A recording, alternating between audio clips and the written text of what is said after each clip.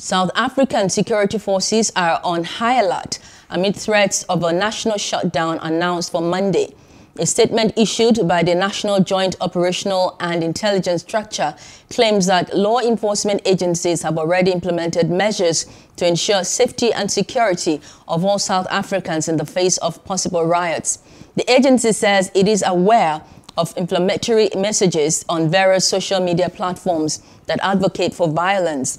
The planned shutdown is coming at a time South Africa is still under COVID-19 alert level 3, which requires maximum compliance with health regulations and protocols. 13,261 new infections were reported on Sunday. Hello. Hope you enjoyed the news. Please do subscribe to our YouTube channel and don't forget to hit the notification button so you get notified about fresh news updates.